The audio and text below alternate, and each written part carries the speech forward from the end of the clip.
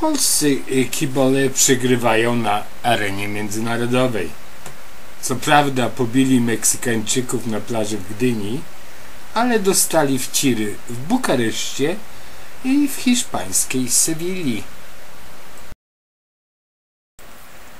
A co gorsze, kibole hiszpańscy zabrali kibolom ze Śląska flagi, co w nomenklaturze kibolskiej jest największą porażką.